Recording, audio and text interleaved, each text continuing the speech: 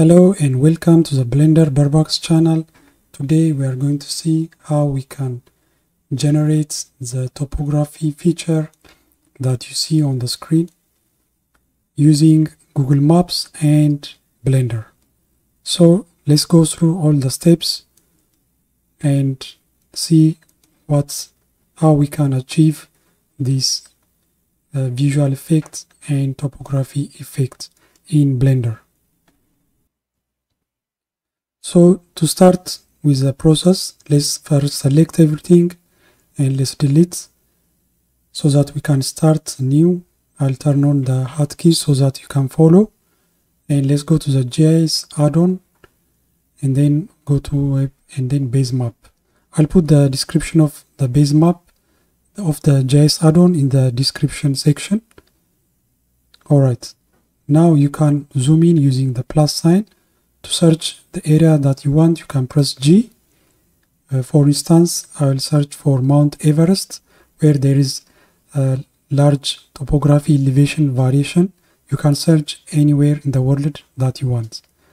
I'll use zoom level of 15 in this case it will take time to load now it's loaded alright so uh, I'll be using this one maybe I'll zoom out a little bit so that I can cover more area. The more you zoom out the lesser will be the resolution but uh, it will be easier to manage uh, the file also. Alright this looks uh, suitable so to extract this press E. Now the information is extracted to add elevation to this. Go to the SR SRTM and use the marine geo. Now you can see elevation data has been added to the data. So this is the Mount Everest mountain and its surrounding. Like now you can see we have uh, imported the elevation values of the topography of the surrounding area. So uh, it comes with a default by with a different modifiers. So go to sampling and make sure interpolation is checked and then apply the modification the modifiers because if we go to the edit tab we can see that uh, we don't have much mesh to work with so we need to apply the modifiers to obtain the appropriate meshes so apply the modifiers. Now go to edit tab. And here you can see we have a clean topography a clean geometry with uh, with a number of uh, partitions and subdivisions. And now we can work with this uh, geometry alright so uh, I will extrude this so that uh, it's uh, good. It will be easier for uh, presentation and if you want to use it as an still file you can extrude it. Maybe I'll change the bottom part to a different material property. We can select it using alt and left click and then uh, we can assign a different material for uh, this part. Go to materials add a new slot the new material. Then I will change the color.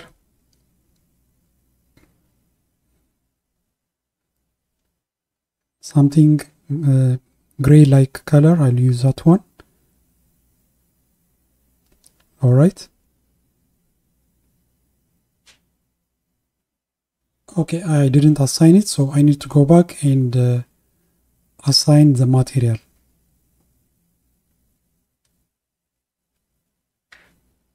Go to edit tab and then uh, assign. Now the material is applied. Now this is better for uh, presentation and resolution. Okay. So uh, we are done with this one. So this is the way you can generate 3D topography of anywhere in the world using Google Maps and Blender. So I'll just adjust some color values here.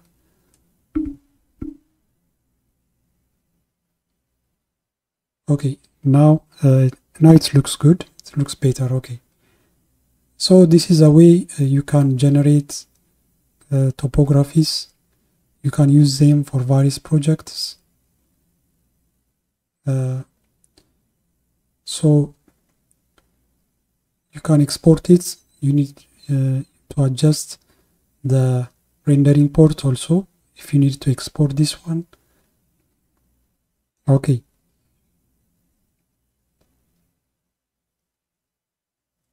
So in case uh, you want more examples, we'll be doing another one.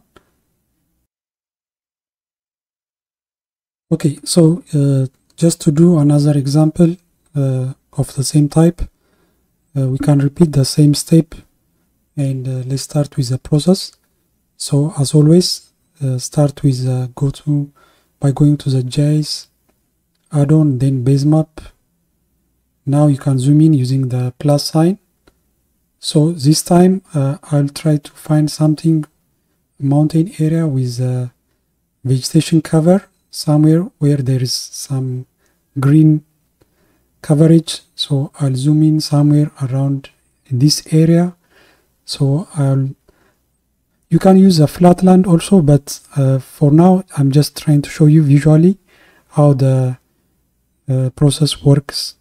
So I'll go I'll zoom in around this place where there is mountainous area and it has green vegetation coverage.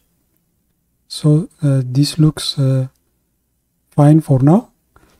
So I'll to extract this one uh, when you are happy with it you can press E to extract the data. Now it's extracted. Alright the next thing is to add the elevation data, go to GIS, web geodata, then the SRTM, use the marine one, and then OK. Now the elevation information is being added. As you can see, now the elevation information is added and we have varying topography surface that we can use. So we, we still need to add, import the mesh information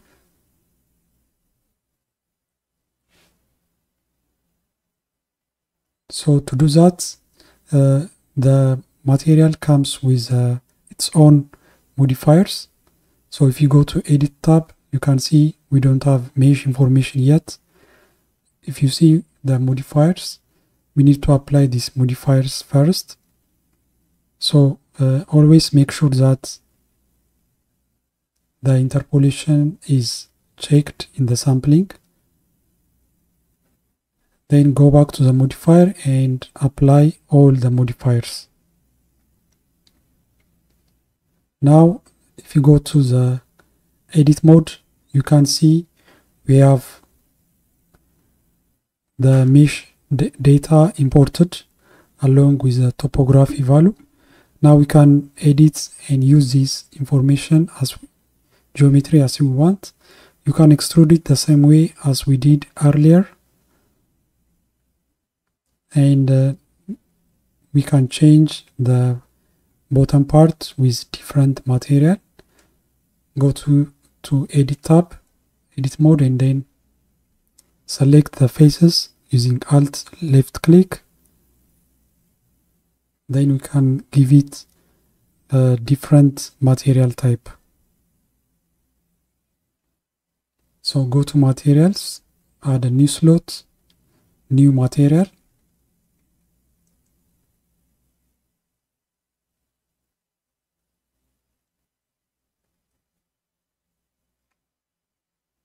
So uh, this time I'll assign it.